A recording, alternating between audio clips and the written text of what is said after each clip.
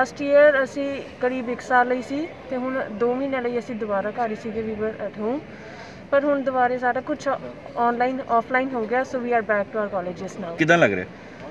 It is kind of good like studies ਦਾ ਵੀ ਕਾਫੀ loss ਹੋ ਗਿਆ ਸੀਗਾ ਸਾਡਾ but now we are back to basics and it's our final year so it is helping us a lot now ਨੁਕਸਾਨ ਹੈ ਕੋਈ online ਪੜ੍ਹਾਈ ਦਾ? ਜਾਂ ਠੀਕ ਉੱਥੇ ਵੀ ਠੀਕ ਸੀ? ਨਹੀਂ ਨੁਕਸਾਨ ਕਾਫੀ ਹੈ ਲਾਈਕ ਕਈ ਬੱਚੇ ਵਿਲੇਜਿਸਟ ਨੇ ਨੈਟਵਰਕ ਇਸ਼ੂਸ ਨੇ they can't attend online classes and also ਜਿਹੜਾ face to face interactions and they help us a lot they are far better than online classes ਖੁਸ਼ੀ ਮਹਿਸੂਸ ਕਰ ਰਹੇ ਹੋ ਅੱਜ?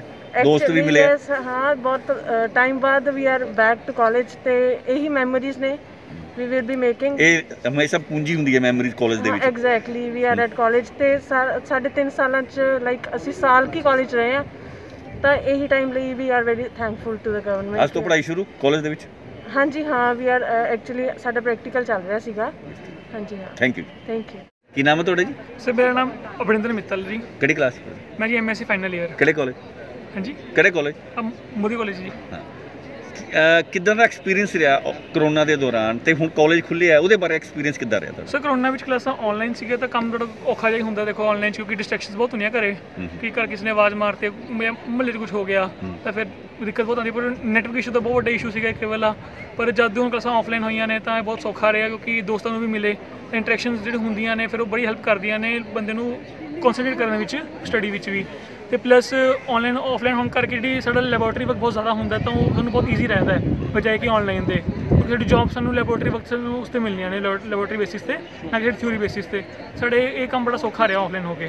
ਦੋਸਤਾਂ ਨੂੰ ਮਿਸ ਕਰਦੇ ਸੀ ਜਾਂ ਪੜ੍ਹਾਈ ਨੂੰ ਮਿਸ ਕਰਦੇ ਸੀ? ਸਰ ਦੋਵਾਂ ਨੂੰ ਮਿਸ ਕਰਦੇ ਸੀ ਉਹ ਦੇਖੋ ਆਨਲਾਈਨ ਦੋਸਤਾਂ ਨੂੰ ਜ਼ਿਆਦਾ ਕਰਦੇ ਸੀ। ਦੋਸਤਾਂ ਜ਼ਿਆਦਾ ਆਬਵੀਅਸ ਜ਼ਿਆਦਾ ਕਰਾਂਗੇ ਕਿ ਕਿਉਂਕਿ ਇੰਟਰੈਕਸ਼ਨ ਕੋਈ ਨਹੀਂ ਸੀਗੀ ਤਾਂ ਦਿੱਕਤ ਬੜੀ ਹੁੰਦੀ ਸੀਗੀ ਕਿ ਕਿਉਂਕਿ ਇੰਟਰੈਕਸ਼ਨ ਕੋਈ ਨਹੀਂ ਸੀਗੀ ਤਾਂ ਜਿਹੜੀ ਆਪਾਂ ਨੂੰ ਐਂਟਰਟੇਨਮੈਂਟ ਚਾਹੀਦਾ ਹੁੰਦਾ ਤੇ ਥੋੜੀ ਚਾਹੀਦੀ ਹੁੰਦੀ ਡਿਸਟਰੈਕਸ਼ਨ ਵੀ ਉਹ ਮਿਲਦੀ ਨਹੀਂ ਸੀਗੀ ਘਰ ਬੈਠੇ।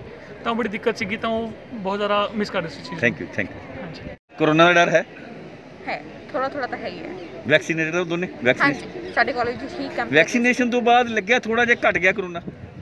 ਦੇਖੋ ਕਰੋਨਾ ਦੀਆਂ ਵੇਵਸ ਜਿਵੇਂ ਤੱਕ ਆਉਂਦੀਆਂ ਰਹਿਣਗੀਆਂ ਉਦੋਂ ਤੱਕ ਆਪਾਂ ਇਹ ਨਹੀਂ ਸ- ਕਹਿ ਸਕਦੇ ਕਿ ਕਰੋਨਾ ਚਲਾ ਗਿਆ। ਆਪਾਂ ਨੂੰ ਜਿਹੜੀ ਅਵੇਅਰਨੈਸ ਹੈ ਉਹ ਜ਼ਰੂਰ ਰੱਖਣੀ ਚਾਹੀਦੀ ਹੈ ਸੋਸ਼ਲ ਡਿਸਟੈਂਸ ਵੀ ਮੇਨਟੇਨ ਕਰਕੇ ਰੱਖਣਾ ਚਾਹੀਦਾ ਹੈ।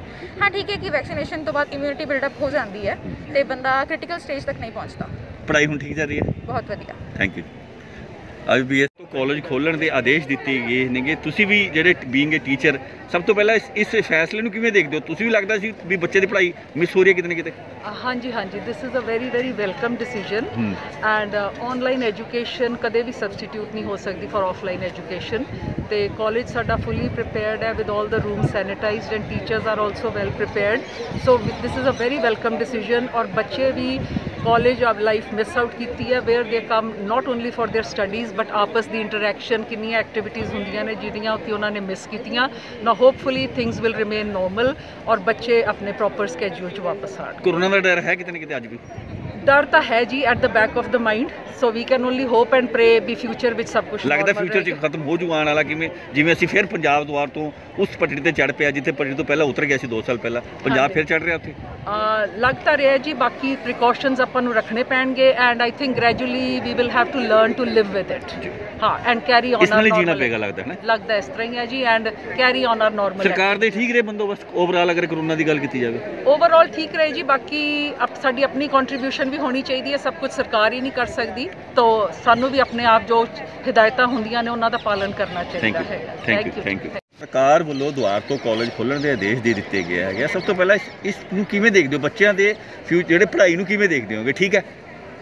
ਦੇਖੋ ਯੂਨੈਸਕੋ ਦੀ ਸਟੱਡੀ ਆਈ ਹੈ ਕਿ ਜਿੰਨਾ ਲਾਸ ਹੁਣ ਤੱਕ ਇਸ ਆਨਲਾਈਨ ਕਾਰਨ ਤੇ ਲੋਕਡਾਊਨ ਕਾਰਨ ਹੋ ਗਿਆ ਹੈ ਉਸ ਨੂੰ ਮੀਟ ਕਰਨ ਲਈ ਘੱਟੋ ਘੱਟ 3 ਸਾਲ ਦਾ ਬਹੁਤ ਸ਼ਿੱਦਤ ਨਾਲ ਸਾਡੇ ਸਾਰੇ ਐਜੂਕੇਸ਼ਨ ਸਿਸਟਮ ਨੂੰ ਲੱਗਣਾ ਪਊ, ਤਾਂ ਸ਼ਾਇਦ ਅਸੀਂ ਇਹ ਕਮੀ ਪੂਰੀ ਕਰ ਸਕੀਏ। ਜਦੋਂ ਮੈਂ ਇਹ ਗੱਲ ਕਹਿ ਰਿਹਾ, ਮੇਰੀ ਆਪਣੀ ਫੈਕਲਟੀ ਐਜੂਕੇਸ਼ਨ ਹੈ, ਮੈਂ ਤਿੰਨ ਚੀਜ਼ਾਂ ਅਸੀਂ ਸਟੂਡੈਂਟਸ ਨਾਲ ਸਮੇਂ-ਸਮੇਂ ਤੇ ਸਰਵੇ ਕਰਦੇ ਰਹੇ ਹਾਂ। ਤਿੰਨ ਵੱਡੇ ਨੁਕਸਾਨ ਇਸ ਸਮੇਂ ਦੌਰਾਨ ਹੋਏ ਨੇ, ਜਿਹੜਿਆਂ ਬਾਰੇ ਮੋਦੀ ਕਾਲਜ ਪੂਰੀ ਤਰ੍ਹਾਂ ਅਵੇਅਰ ਹੈ ਤੇ ਅਸੀਂ ਆਪਣੀਆਂ ਪਾਲਿਸੀ ਤੇ ਪਲਾਨ ਬਣਾ ਚੁੱਕੇ ਹਾਂ, ਉਹਨੂੰ ਮੀਟ ਕਿਵੇਂ ਕਰਾਂਗੇ? ਸਭ ਤੋਂ ਪਹਿਲਾ ਨੁਕਸਾਨ ਇਸ ਦੌਰਾਨ ਭਾਵੇਂ ਮੋਦੀ ਕਾਲਜ ਇੱਕ ਐਗਜ਼ਾਮਪਲ ਸੀ ਪੰਜਾਬੀ ਯੂਨੀਵਰਸਿਟੀ ਦੀ ਕਿ ਅਸੀਂ ਲੀਜ਼ ਲਾਈਨਸ ਲੈ ਕੇ ਤੇ ਵਰਚੁਅਲ ਪਲੇਟਫਾਰਮ ਪੇਡ ਲੈ ਕੇ ਸਾਰੀਆਂ ਕਲਾਸਿਸ ਆਨਲਾਈਨ ਲਗਾਈਆਂ।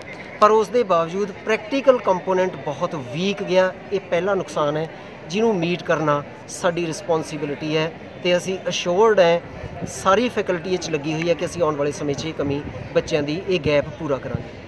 ਦੂਸਰਾ ਵੱਡਾ ਨੁਕਸਾਨ ਜਾਂ ਗੈਪ ਮੈਂ ਉਹਨੂੰ ਨੁਕਸਾਨ ਨਹੀਂ ਕਹੂੰਗਾ, ਉਹ ਸ਼ਿਫਟ ਹੈ ਪੈਰਾਡਾਈਮ ਸ਼ਿਫਟ ਹੈ ਕਿ ਬੱਚੇ ਨੂੰ ਅਚਾਨਕ ਜਿਹੜੀ ਐਕਚੁਅਲ ਰਿਐਲਿਟੀ ਤੋਂ ਵਰਚੁਅਲ ਰਿਐਲਿਟੀ ਤੇ ਸ਼ਿਫਟ ਕਰ ਗਿਆ।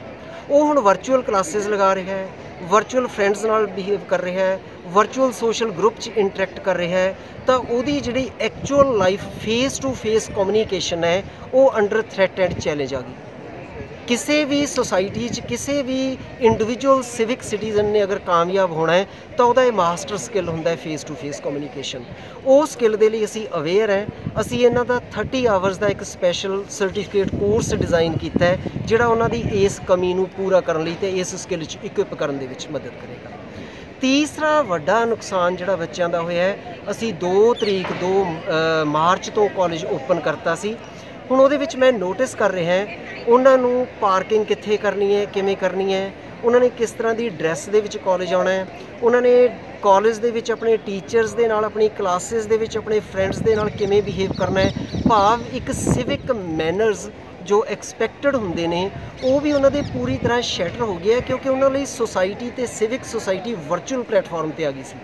ਉੱਥੇ ਜਿਹੜੇ ਸਿਵਿਕ ਨਾਰਮਸ ਨੇ, ਉਹ ਬੜੇ ਲਿਬਰਲ ਹੁੰਦੇ ਨੇ ਕਿਉਂਕਿ ਤੁਸੀਂ ਜਦੋਂ ਚਾਹੋ ਤੁਹਾਡਾ ਕੈਮਰਾ ਆਫ ਹੁੰਦਾ ਹੈ and you can behave at any time ਵੱਡੀ ਐਗਜ਼ਾਮਪਲ ਬੱਚਿਆਂ ਨੂੰ ਹੁਣ ਇੱਕ ਕੈਜੂਅਲ ਤੇ ਫਾਰਮਲ ਬਿਹੇਵ ਤੇ ਵੀਅਰ ਦਾ ਡਿਫਰੈਂਸ ਕਰਨਾ ਮੁਸ਼ਕਲ ਹੋ ਗਿਆ ਇਹ ਸਾਡੇ ਲਈ ਇੱਕ ਬਹੁਤ ਵੱਡਾ ਚੈਲੰਜ ਹੈ। ਅਸੀਂ ਇਹਨੂੰ ਬੜਾ ਵਿਲਿੰਗਲੀ ਓਨ ਕਰ ਰਹੇ ਹਾਂ ਐਂਡ ਆਮ ਕੌਨਫੀਡੈਂਟ ਤੇ ਸਾਡਾ ਮਿਸ਼ਨ ਵੀ ਇਹੀ ਕਹਿੰਦਾ ਹੈ ਕਿ ਮੋਦੀ ਕਾਲਜ ਦਾ ਮਿਸ਼ਨ ਹੈ to give the socially sensitized civic citizens to the society ਅਸੀਂ ਅੱਜ ਵੀ ਉਸ ਮਿਸ਼ਨ ਤੇ ਖੜੇ ਹਾਂ ਤੇ ਮੈਂ ਕੌਨਫੀਡੈਂਟ ਹਾਂ ਸਾਡੀ ਸਾਰੀ ਫੈਕਲਟੀ ਨਾਲ ਕਿ ਅਸੀਂ ਬੜੇ ਥੋੜੇ ਜਿਹੇ ਮਹੀਨਿਆਂ 'ਚ ਇਹਨਾਂ ਨੂੰ ਦੁਬਾਰਾ ਫਿਰ ਉਹ ਸਿਵਿਕ ਟ੍ਰੇਨਿੰਗ ਤੇ ਲੈ ਆਵਾਂਗੇ ਤੇ ਅਸੀਂ ਮਾਣ ਨਾਲ ਕਨਵੋਕੇਸ਼ਨ ਸ਼ਾਇਦ 2 ਜਾਂ 3 ਮਹੀਨੇ ਬਾਅਦ ਕਰਾਂਗੇ। ਉਦੋਂ ਤੱਕ ਅਸੀਂ ਬੜੇ ਮਾਣ ਨਾਲ ਮੈਂ ਡਿਕਲੇਅਰ ਕਰੂੰਗਾ ਕਿ ਅਸੀਂ ਅਗਲਾ ਪੂਲ ਜਿਹੜਾ ਗ੍ਰੈਜੂਏਟਸ ਦਾ, ਉਹ ਇੱਕ ਸਿਵਿਕ ਸੋਸ਼ਲੀ ਸੈਂਸਿਟਾਈਜ਼ਡ ਸਿਟੀਜ਼ਨ ਸਾਡੀ ਨੇਸ਼ਨ ਨੂੰ ਦੇ ਰਹੇ ਹਾਂ। Thank you